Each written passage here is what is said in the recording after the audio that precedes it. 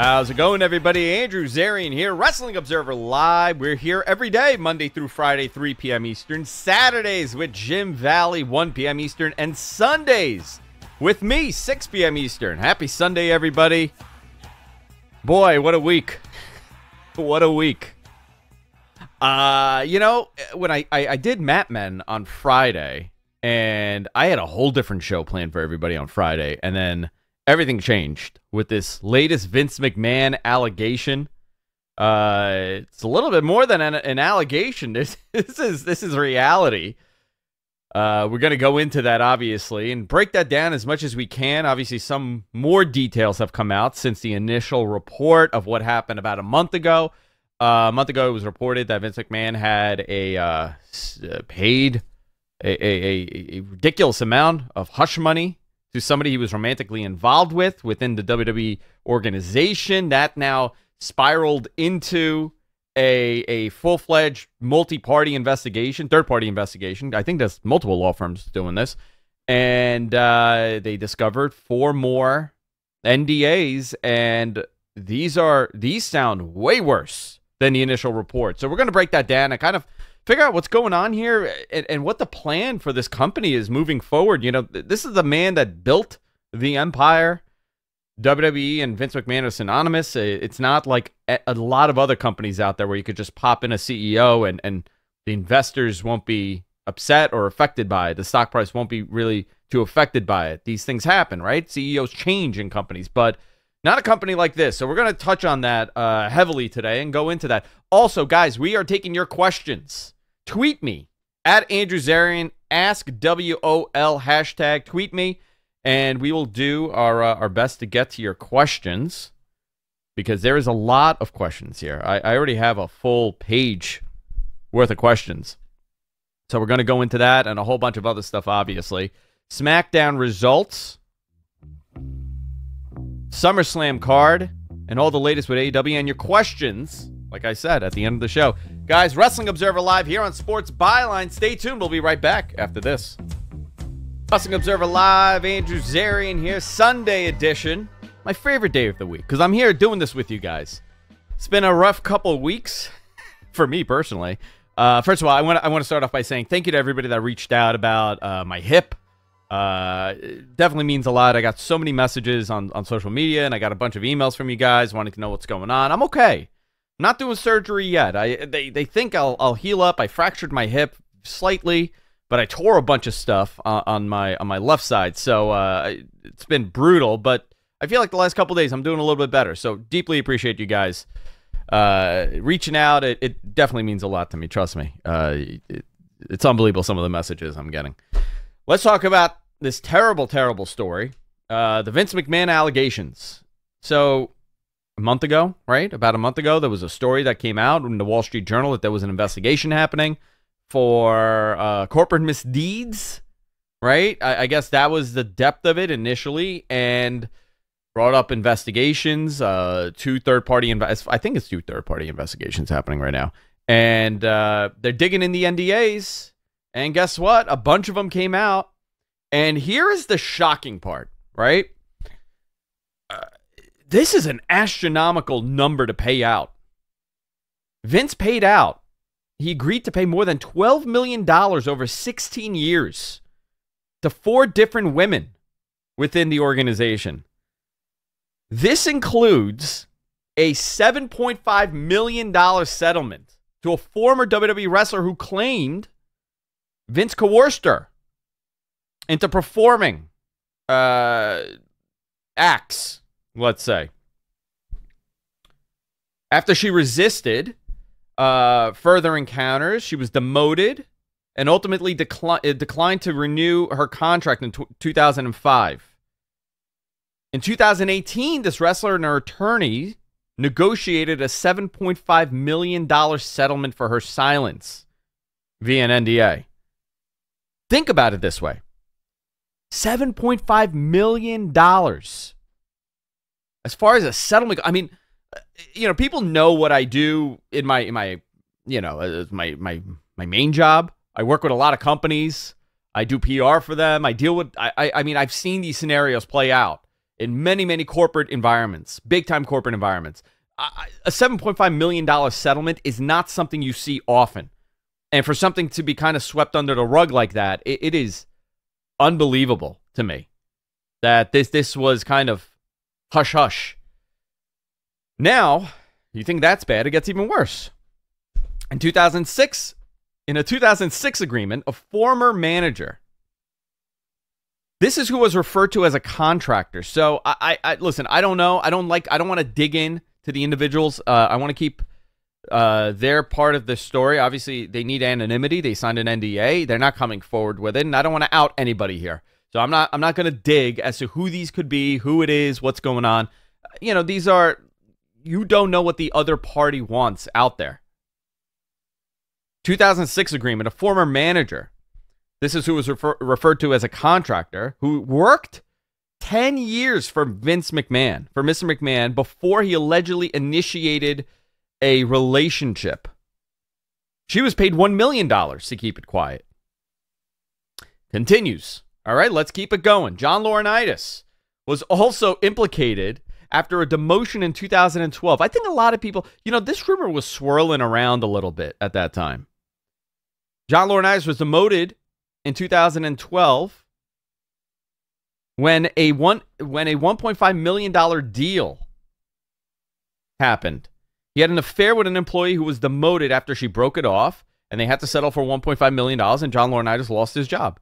It was also implied that he might have been involved with the paralegal from the first story. Now that was the that was the that was the confusing part of the initial story, whether or not the paralegal was in some sort of relationship with John Laurinaitis as well along with Vince McMahon. There are some parts that came out about the paralegal story that were not really discussed early on. Dave Meltzer did a great job at this. Dave and um, Dave and Garrett were discussing this on Wrestling Observer Radio that came out on Saturday. You could head on over to F4W Online and check it out there. And Dave gave a nice little tidbit that I, I had no idea. Vince uh, did not meet this person at work, the the the paralegal. The, apparently, the paralegal apparently uh, allegedly lives in the building that Vince McMahon lives in, where he has that penthouse, that ridiculous penthouse in uh, in Connecticut. She apparently lived in the building. They met there. He offered her a job and wanted to give her a salary, wanted to give her a raise up to three hundred thousand dollars, and they. Uh, I, I think he realized, or, or whoever he was speaking to realized what an astronomical increase that is. So they gave her a hundred thousand thousand dollar uh, raise, and then she got shipped over to John Laurinaitis' department. So this is a bonkers story. I mean, this is just one re- repeat after another. And, you know, this is the. It's, it, I believe it's Trump Towers in New York. It's a New York penthouse he's in. It's not the Connecticut place, or it could be the Connecticut. I think I think he has a big place in Connecticut. Um, this is just unbelievable. So this is four that they know of, that they've been able to track uh, prior to going public. You know, some of the you've heard these stories. Uh, you know, we we've all heard it, and now it's coming to light here. So WWE's initial statement sent to employees was the following: The Wall Street Journal has published a second story with expanded details on the initial WWE report last month. We want to reiterate that we and our board of directors takes these allegations seriously. Uh, we've been co- cooperating fully with the investigation led by our board of directors and will continue to do so until the conclusion. Please note that upon its conclusion, WWE leadership will make itself available to answer any questions you might have. Thank you. This was sent out to em- all employees. Vince was at SmackDown, by the way, and it was reported to be business as usual. I mean, this is, you know, there's so many twists and turns to this thing, and we still don't really know um, beyond what the Wall Street Journal is saying. We don't know what the, you know, it's not like the Wall Street Journal has direct access to the investigation. There, there has to be more to this that they don't, they're not privy to, for a number of reasons. But the other question is, who's leaking this to the Wall Street Journal? I'm curious about that. I, I very much am. Is it WWE? Is it someone on the board? Is it the legal team? somebody on the legal team for uh, that's investigating? I mean, th- these are all questions. So here, here are some questions here. What what is it going to take to remove Vince? And should Stephanie be named permanent CEO? Now we're gonna we're gonna continue this also because this is a big big story, and I want to hear from you guys. Use the hashtag AskWOL, and you could tweet me on Twitter right now at Andrew Zarian, and I will do my best to answer all your questions. But this is this is wild. So is this going to remove Vince? I don't know. I, I really don't know. I mean, I, you know what it really comes down to, and, and this is the truth. Uh, For WWE, is there is their stock going to be affected? Is their public perception going to be affected by this? You know, these are all questions that that will impact if they do it. If it was any other company, okay, and this is this is a great example of this. How this is a bizarro universe this company exists in. If it was any other company, the CEO would have been ousted immediately. He would not be allowed to be working there with talent, with staff, and have it quote business as usual, like it's being described. There's I can't see this being in any other any other company that this plays out, and this is the scenario. But it's WWE and it's Vince McMahon, and really, uh, this is just so weird.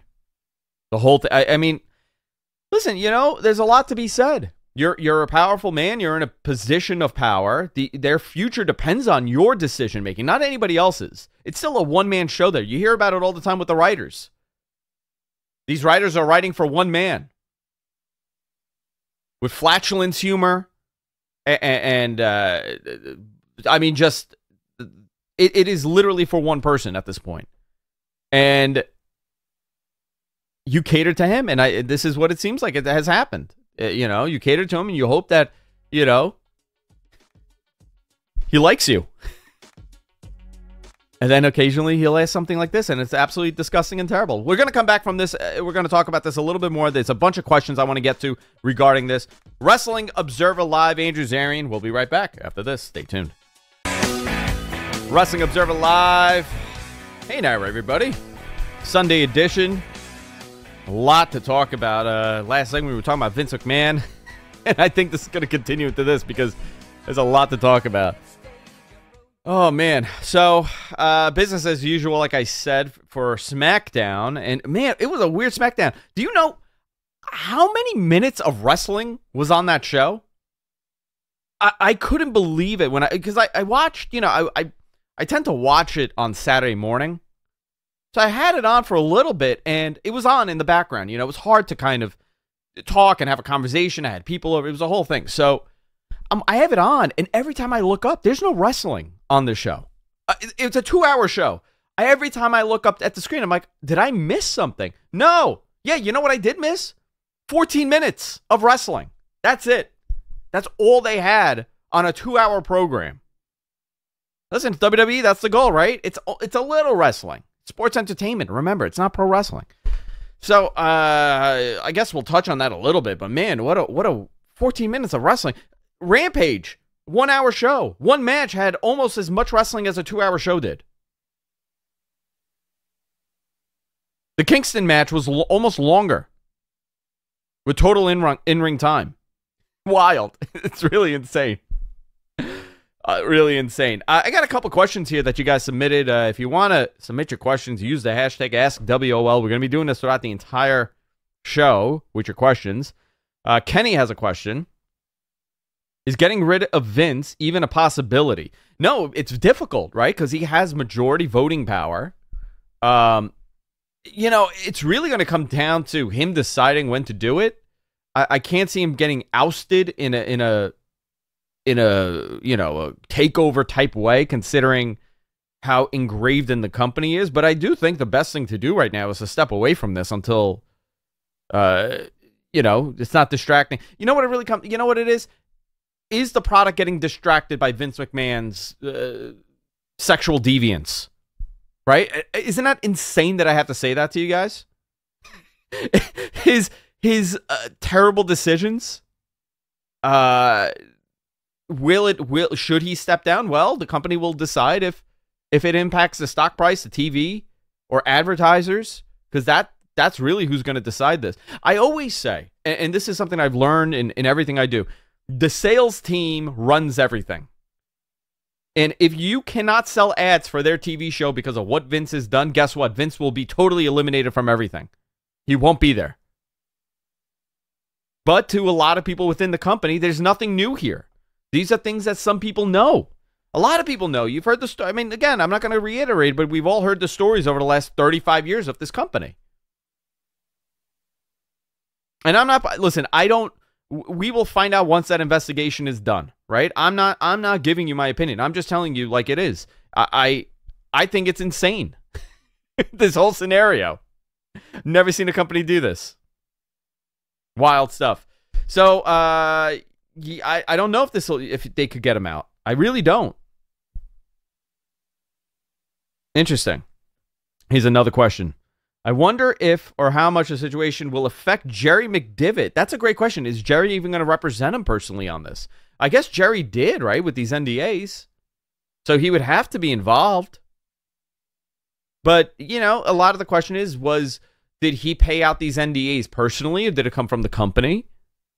Uh these uh, it, it's it is a it is a very bizarre sticky situation. And we're to find out more, obviously. More information is to come out here. So we'll, we'll get into that. I don't know. We'll see. Uh, let's go into some fun stuff. Please. I can't. MG, you there, right? My producer, uh, Matt's here. Uh, we need to go into some more uplifting stories, right? Does that mean we talk about SmackDown? Let, let's go into SmackDown because that's so uplifting. Roman Reigns and Paul Heyman cut a 14 minute promo that was ultimately in, uh, interrupted by Theory dancing around the ring with his briefcase. Great. Viking Raiders defeated Jinder Mahal and Shanky. Nakamura defeated defeated mm-hmm. uh, Kaiser with Gunther on the outside. Corbin was on commentary and tried to explain uh, to do his best Pat McAfee impersonation. You know, this is long term storytelling because I believe they were on the same team together, right?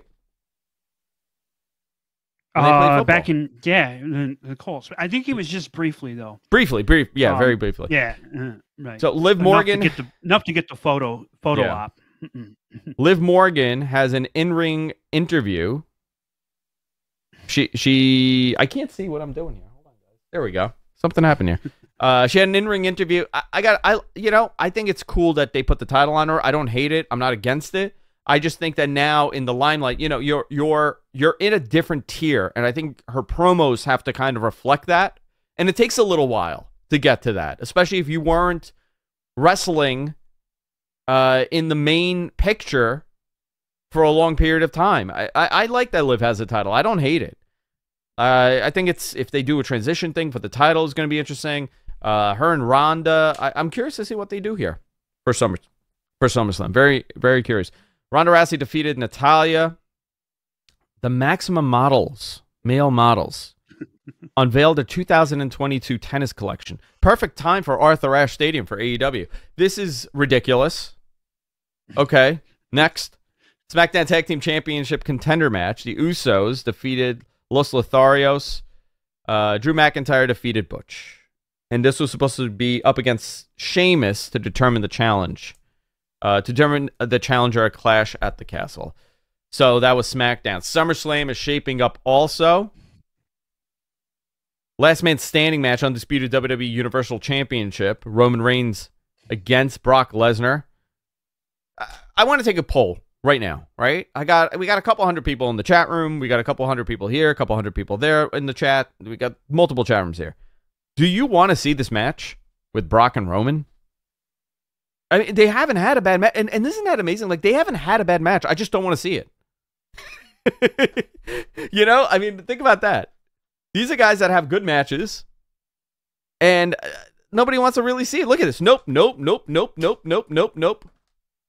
You know, nobody wants to see it. Zero interest. Nope, nope, nope, nope, nope.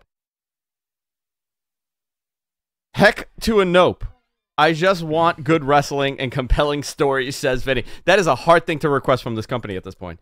Uh, based on based on the house show, could Natty uh, be added to that SmackDown match? I don't know. Maybe Pat McAfee, Happy Corbin. Okay, that'll be a good good show for Pat McAfee. He's excellent in every way. He also signed an extension, new contract, right? Good for him, man. He's working really hard. That he changed that whole commentary team, revived Michael Cole. He says it himself. United States Championship match. Bobby Lashley defends against Theory. So here's the. So this is interesting, right? Like Theory, Theory said that he's going to cash in. Does he win the title and cash in now the title's back on him? So when he loses the briefcase, he still has that title? We'll see what happens there. Uh, undisputed WWE Tag Team Championship match. The Usos defend against the Street Profits. Angelo Dawkins and Montez Ford. Uh, last week we were talking about how gigantic Montez Ford is. Put on some muscle. He's looking big. Main event run. He's getting ready for that. Singles run. He's getting ready for that. I feel bad for Angelo Dawkins because he's actually not a bad worker. I, I think this is a good tag team. It's just Montez Ford has always been the the guy in that group that they've they've they focused on immediately. As soon as this guy, as soon as Montez Ford came to the main roster, I was, immediately I was sold. like, oh yeah, they had these big plans for him. He's impressive. Other matches likely to be added based on storyline is Becky Lynch and Bianca Belair, Logan Paul and The Miz, Shinsuke Nakamura versus Gunther for the IC title. So that's SmackDown. Uh, that's SummerSlam. So AEW Rampage, on the other hand, had a had a great match. What did you think of that uh, Eddie Kingston match, MG? Oh, that was awesome. They they they got a star in uh, Takeshita. Is that his name? Yeah, that's they, he's gonna he's gonna be a, he's gonna be an international star. oh yeah, the dude he's Japan he's very impressive. You know, it, it's funny because sometimes and, and I think most people watching this and listening to this, obviously on the radio, will, will agree to this. Sometimes you see somebody right like you just see him and you're mm-hmm. like, holy moly, this guy's great. Like immediately you know. You know who else I had that for? And you get don't laugh. This is not a joke. When I saw Austin Theory at Evolve, the first time I ever saw him wrestle, yeah. I was like, oh yeah, this kid's this kid is great. He's gonna go somewhere. I mean, this is a very we different comparison, right? Very different comparison. But sometimes you see somebody and you say, man, this guy has it. Listen, uh, the hair, the look, the body, the height. He worked great with uh, with Eddie Kingston, and you know what? Kudos to Kingston. You know he's banged up after last week, and he went out there and he had a hell of a match. I that's another guy, Eddie Kingston, would have never been in this position in WWE, and he was given the opportunity in AEW because he's so freaking good. And look what he did. He's turned it into a main event positioning. He's in. He's I in have the a mix. question for you. Yeah, yeah. Um, is Eddie Kingston in uh, due for a title run in the next year or so? I don't know. What title do you is. put on him? You put a you put the I world title. You put world Absolutely. He is. You know that would that be over. Uh, we're coming be, close. It'd be probably transitional, but still. Mm. We're coming close close to a break, but somebody brought this up to me, and, and it's so funny. Somebody, somebody uh, over there uh, said to me, he goes, you know, it could be like a Mick Foley type title win and a title run. You know, this guy that was never supposed to be the world champion on a nationally syndicated, a national television show. Uh, you know, the the this is a guy that uh, a lot would have said he would never be a world champion on a major promotion, and guess what? He's totally capable of doing that. And you know what? Mick Foley too. Same thing was said about him. Let's let's touch on that a little bit, and I want to go into more AEW stories here. Wrestling Observer Live here on Sports Byline. We'll be right back after this. Wrestling Observer Live, Andrew Zarian here, Sunday edition, hanging out with you guys. My favorite day of the week, Sundays, because I'm here doing this fantastic show. I personally have been a listener since the Eyada days. Think of that. Think about how long ago that was. I had an Aiwa, I think Aiwa boombox that I connected to my computer, and I had it timed out that it would load the real media player and, and record Dave and Brian on Eyada. Unbelievable. And now I'm here I am hosting it. Look, your dreams can come true, boys and girls. we got a couple more questions here, so I'm going to touch on this.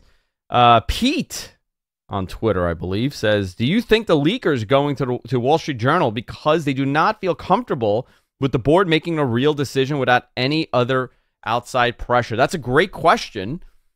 Uh, I mean, it could be both. I mean, that could be a perfectly reasonable reason to go to the Wall Street Journal, or it could be someone internally and on the board themselves going to the Wall Street Journal because they want Vince out.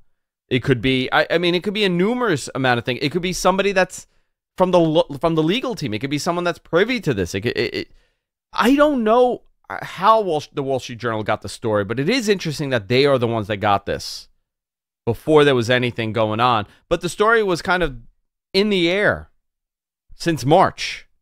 So a lot of this could have turned over a lot of hands and and then started this derailment of uh, of Vince McMahon uh, uh, in his position.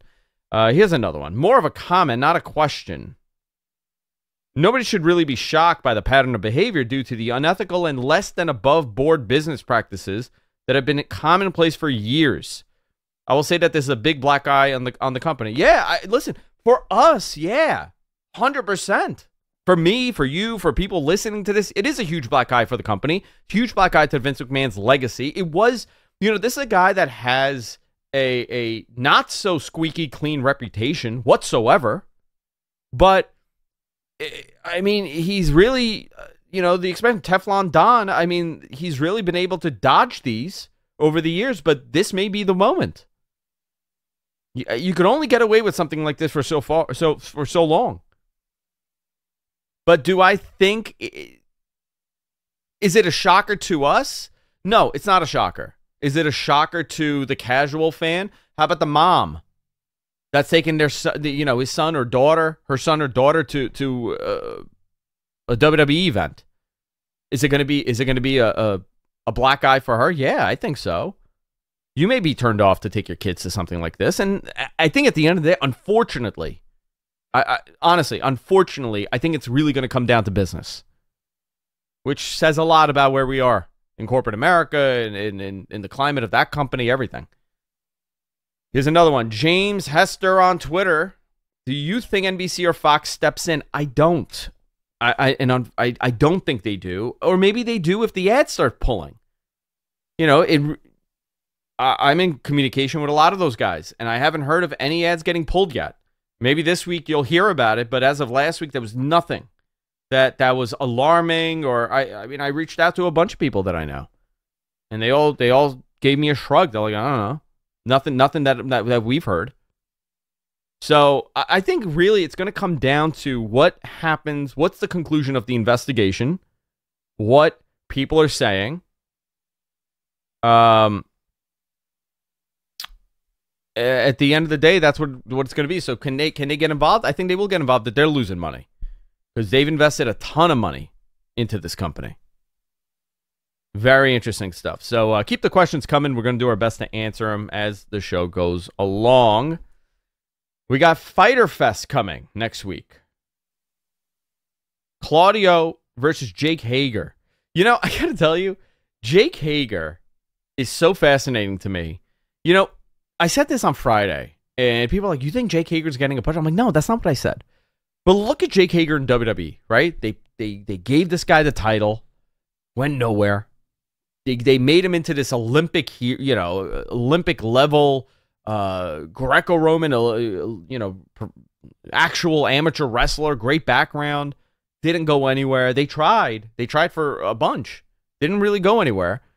He leaves, goes and starts doing MMA does really well in Bellator, goes to AEW, and he's a really good uh, uh, guy to be to be there in the background.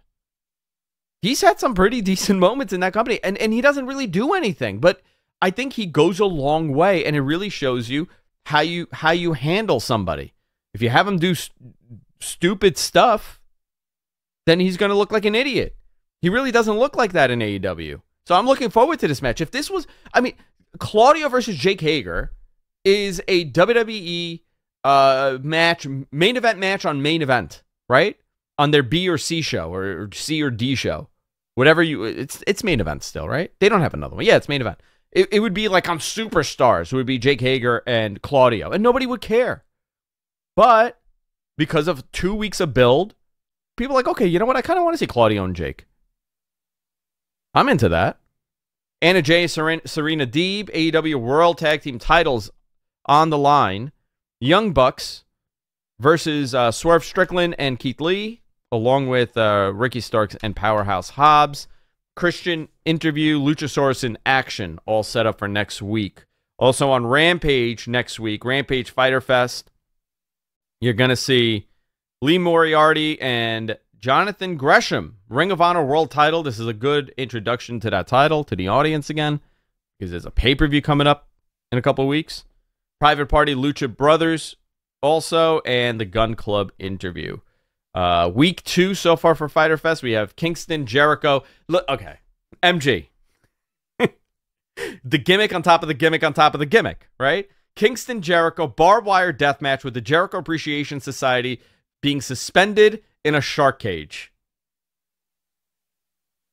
What? What do you think of that? This is sports entertainment at its maybe at its best, I guess. I don't know. I mean, is it? But wait a minute. Is it sports entertainment, or are we going to like mid south now? Is this like Yeah, are we are we in mid south with the shark cage, or well, or that's uh, essentially that kind of gimmick came out of there, right? So yeah, you're probably right. Yeah, I mean, listen, man, I'm into it. Uh, would this be okay? Here's another question, and this is a great question for you because you you do all our research here, um, Mhm. which I don't think people know that. Uh, our producer Matt, he does all the research for the show. He makes my life so much easier when I'm like, hey, listen, can you look this up for me and just double check for me? And he he gets it all done during the show. It's wild. Um, is this the first barbed wire match on national television in North America? On national television, um, it would have to oh, be. I imagine. Well, are you talking about ECW? Because I'm pretty sure they had. some. I don't think they had any. Well, does that count? They didn't. Did they have any? Did they have a barbed wire match on TV? Mm, they had Born to Be. Wired, right? That that was a I- that was a that was a TV. That wasn't a TV thing. That was a VHS exclusive. Right, right. I wonder how much uh, barbed wire we're actually going to see. I we'll have to see if it's going to be like know, the uh, Listen, like the exploding death match was, or is it going to be? forget about that. We down? we got to see fluorescent tubes. You know, in a main event, fluorescent tubes Mhm. on national TV. I think Revolution cutter. did a barbed wire match last. year. Yeah, but I'm saying national TV. I, am not. I'm not going into pay per views. Uh, I'm going. Mm. Uh, Mhm. Hardcore TV did have a barbed wire match for ECW. Interesting. Okay. Mhm. Interesting. I, I wanted to say there was one in there somewhere. Yeah. Mm. Shane in the chat goes, Adrian, how come Madman hasn't been posting content on F4W? I, I think it should be there. I posted it last week. Friday should be up there. Mm.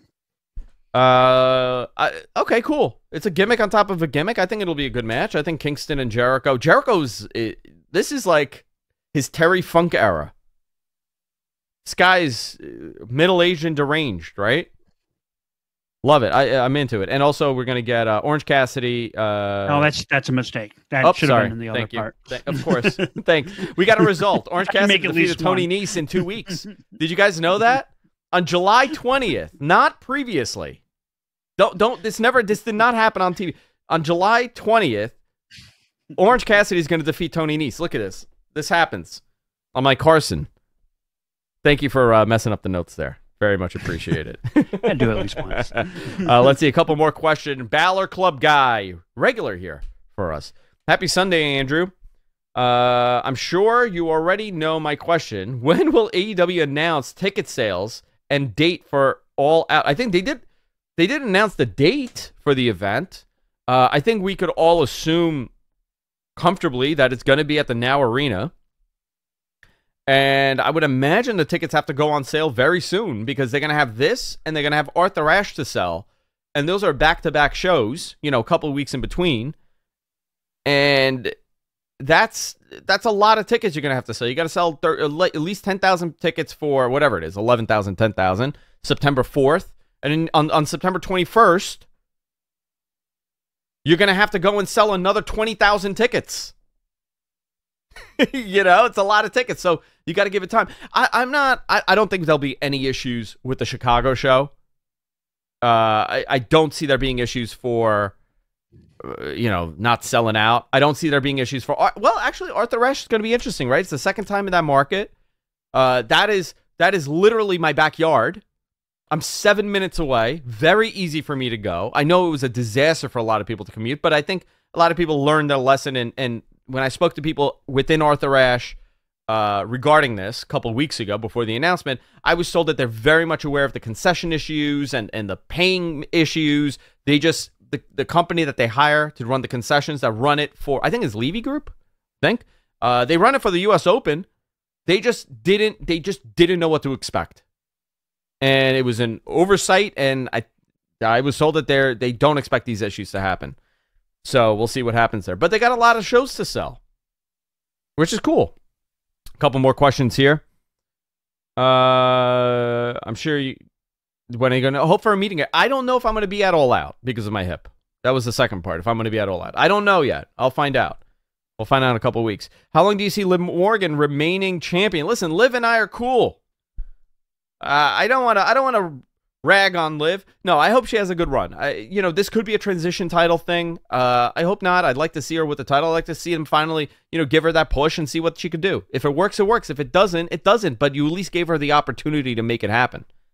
And for someone that's been there and has worked hard and has kind of gotten pushed and taken back and pushed and taken back, I think this is a good opportunity for her to kind of shine a little bit. You kind of want to see that.